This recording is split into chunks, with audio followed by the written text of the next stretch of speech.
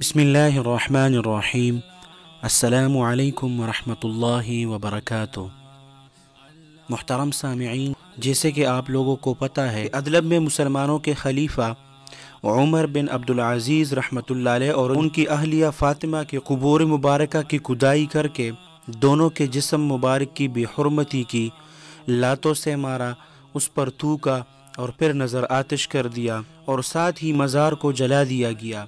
محترم سامعین، یہ واقعہ ستائیس مئی دو ہزار بیس کو پیش آیا کہ جب پانچویں خلیفہ سیدنا عمر بن عبدالعزیز رحمۃ اللہ علیہ اور ان کی زوجہ محترمہ کے قبروں کی کدائی کی گئی اور اس کے اجسام کو نکال دیا گیا، پچھلے برس ادلب کے جنوبی علاقے میں ان کے قبور کو جلایا گیا تھا اور اب ستائیس مئی کو انہیں مکمل منہدم کر دیا اور کھدائی کر کے باقیات نکال دیے۔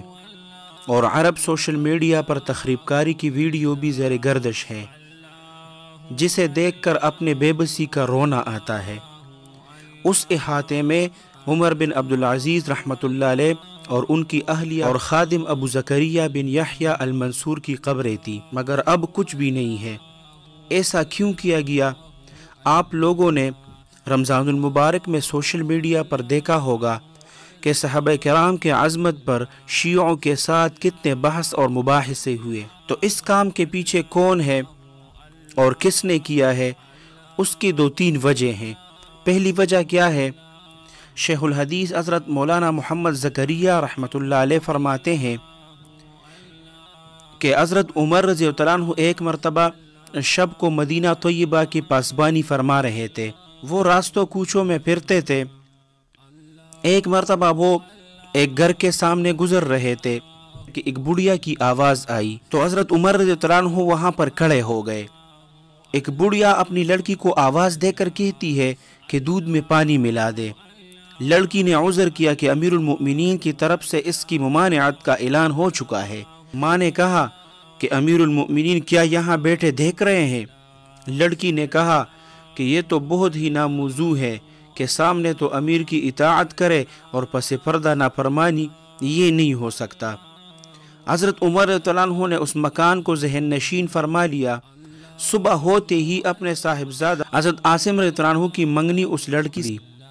اس لڑکی کے اولاد سے حضرت عمر بن عبدالعزیز رحمۃ اللہ علیہ پیدا ہوئے۔ اسی طرح دوسری وجہ کیا ہے کہ حضرت عمر بن عبدالعزیز رحمۃ اللہ علیہ کا حضور صلی اللہ علیہ وسلم سے بے انتہا عشق اور محبت تھا۔ حضرت عمر بن عبدالعزیز رحمۃ اللہ علیہ کے اجزاء ایمانیہ میں رسول اللہ صلی اللہ علیہ وسلم کی محبت اور احترام کا جز جو تھا وہ سب سے نمایاں تھا۔